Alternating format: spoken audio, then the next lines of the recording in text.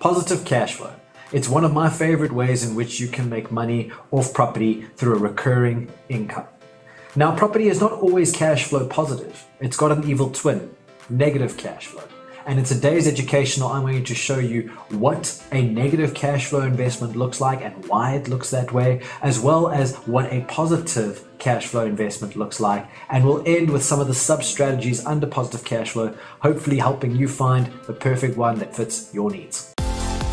I educate people to reach financial freedom through property through cash flow positive investments, specializing in the low income multi let residential market.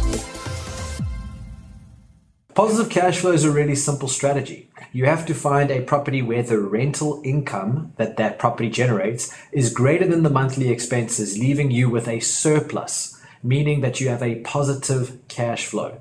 Rent greater than expenses left with monthly profit means you have a positive cash flow investment. If we look at our different investor archetypes, this would be the landlord type investor, someone who's looking to either accumulate in the low income market or curate in the high income market. Now, with this positive cash flow investment, you've, you've essentially got your for rent strategy. So you're buying a house and renting it out. Within buying and renting, you've got two types of cash flow situations. You have your positive cash flow, which we've discussed is an income, a rental income greater than your expenses, leaving you with a monthly profit. But you also have the evil twin, which is the negative cash flow, the other side of the same coin. This is when the rental income is less than the monthly expenses, leaving you with the shortfall. Now, this negative cash flow situation is how I used to think all properties were. I thought the only way you can buy property is by buying it and then funding the shortfall for five to seven, maybe 10 years, then it starts to break even and eventually you start to profit. And, and my thinking was, you know, if that's the case, how do you scale? Because you can only buy a property every seven to 10 years. Let me show you an example of a negative cash flow investment your new build strategy, which is very popular. This is when you buy from a developer or you buy a brand new unit in a building. They tend to always be negative cash flow. Here's an example. This is a uh, property for sale in the, in the northern suburbs in Cape Town, in Portofino. The price for a, a two bedroom is 1.1 million.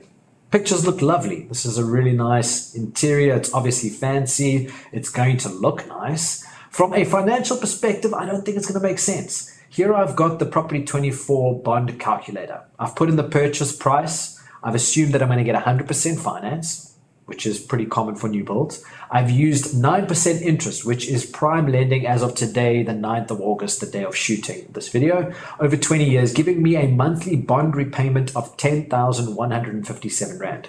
Some once off costs, which are your buying costs. So the numbers on a month to month basis, right? We've got a bond repayment as an expense item of 10,157.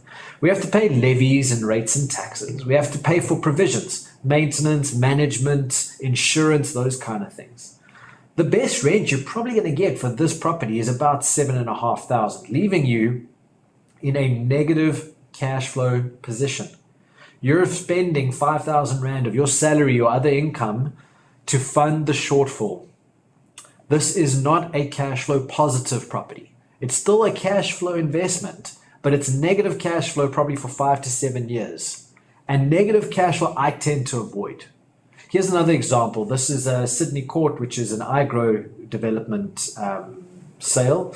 iGrow is a is essentially a marketing agency for developers, and they've also got a management arm. I do I do recommend their management arm. Here is the Sydney Court a breakdown as per um, as per iGrow's recommendation. The first thing you'll note here on the left hand side is some of the monthly income and expenses. So 5,000 Rand of rent, plus they give rental assist for a couple of years. The only reason they give rental assist is because they want to try and incentivize you to buy, knowing that it's negative cash flow. Uh, levies, rates and taxes, and then rental insurance. Also, just on the, the, the section to the right, you'll see finance, where they've used a 7% interest. This um, proposals, obviously from from a couple of months back when the interest rate was still seven percent prime, and they're doing it over thirty years. So they're trying to reduce the bond repayment again, trying to show a better cash flow than there is. So if we look at the actual financial breakdown, you can see um, year one to ten shown on the top in the red. And then you've got your uh, cash flow statement. So you've got your rental income plus rental assist for the first few years. And then you have all of your expenses. And that bottom line where the green arrow shows, it's showing you your monthly surplus, meaning your monthly profit or your positive cash flow, or in red, your shortfall, your loss. So here, a perfect example. The first six years of holding this property, you are losing, you know, between 980 and 142 Rand per month. It's not a lot of money that you're losing. I mean, most people with a steady job would probably quite easily be able to afford that. And then in red, you can see I've highlighted that they say this is the equity gain that you get. Please note that equity, gaining in equity is speculation. And all of these developers will, will, will guarantee you that there's going to be 10% capital growth year on year. That is absolute bullshit. Sorry for my language.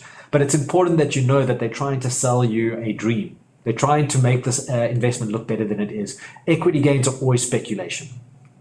Now, when you're going for the, the cash flow positive route, you know, you can't be going for new builds or in the suburbs. You want to be going the low income market where your appreciation tends to be a bit lower.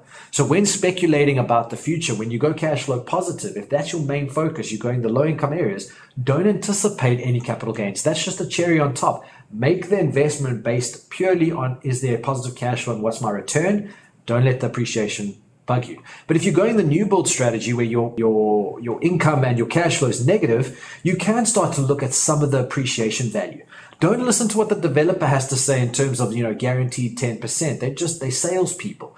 Go and look at some of the stats. Go look at Lightstone. Go look at TPN. Go look at the TPN rental monitor. Go look at the Lightstone housing price index. Go look at those data points to then determine what your appreciation is. But yes, with the negative cash flow route, you take appreciation more into account. So that's the evil twin. That's the that, that's the type of investment that I tend to avoid, and that's the reason most of the time that I avoid your suburbs and prefer to go to the lower income areas because that is where the cash flow is. That's where the positive cash flow is. So let's have a look. Here's an example of a property in the Joburg uh, CBD. This is a four bedroom property, 82 square meters, uh, 400,000 in Berea. So the first thing to note here is that it's uh, 82 square meters, which is uh, probably that it's a two bedroom property or originally was. And what they've done is they've sublet or multi letted the property. So they've turned one bedroom into two bedrooms to bring four tenants in, making it more cash flow positive right? So that's how you can justify a higher level of rent. You just have to be sure that you can still get financing on it because the banks sometimes are a bit hesitant regarding multi-lets. But looking on the inside of the property, it looks pretty well maintained. It looks, you know, in decent enough condition. It's in the CBD, so it is quite high risk. Let's look at the numbers. So a bond repayment, let's assume you can get a 90% loan. The banks are happy with the risk, they're happy with the with the financials of the building, they're happy with how many tenants are staying there. The levies and the rates and taxes are quite a big chunk, 1,850. You've got provisions, maintenance, bad debts, delinquent behavior. You'll have to have a managing agent, all of these different things. So that's why your maintenance and your and your provisions per month is just under 2,000 rand, which is quite a lot. The rent that you can currently get on this property based on the advertising from the agent is 8,000. So that's four tenants paying 2,000 rand per bed each. This gives you a cash flow positive so this is profit from day one of 1,290.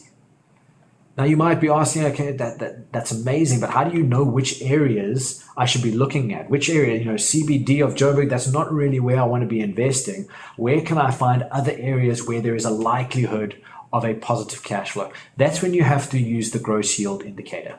The gross yield indicator, and I use the word indicator specifically because it's not used to buy. It's not a buying decision. It's an indicator. What you have to do is you have to take the annual rent of an area and divide it by the purchase price. So, for example, if you're buying in a, a property that has got a 10,000 Rand rent and the purchase price is 800,000, annual rent divided by the purchase price of 800,000 will give you 0.15 times 100 will equal 15%. A 15% is the minimum yield that I recommend to now I tell my students to look for when they're looking for areas to, to investigate. If you want to know more about this, go check out my video specifically focused on the gross yield calculation. So this is one of those main strategies. You've got your cash flow, you've got your appreciation. If you're going the cash flow route, focus on positive cash flow. The evil twin, the negative cash flow is not where you want to be starting out. Later on, you can hedge your bets and you can start buying new builds and start having the appreciation play. But first, get a few cash flow positive investments, properties where the rent is greater than the monthly expenses, leaving you with a monthly profit. Within the positive cash flow space, there are a couple of sub strategies that I'll often teach my students and, and, work through with them. One of them is the single let model. This is when you're buying an apartment, a two bedroom apartment, and you have one tenant. You've got the multi let model. Here you can have anything from you know having a two bedroom apartment with four tenants to buying a block of flats. Your student accommodation is a very very positive and, and, and profitable cash flow strategy. And then you've also got more your upper end, your cash flow, your, your commercial investments, retail, buying shopping centers, malls, or office space. I've done a video on each one of these sub strategies from multi lets to commercial and everything in between. So make sure you go and check out that playlist. I hope you enjoyed this video. Give it a thumbs up and don't forget to subscribe. Property investing can be scary, and sometimes it's nice to have an experienced, seasoned investor look over your deals. That's why I've created my property coaching program, where I sit with you on a one to one basis and help you through the process of buying your first investment property. If this sounds interesting, book a free 15 minute call with me and we'll see if it's the right fit.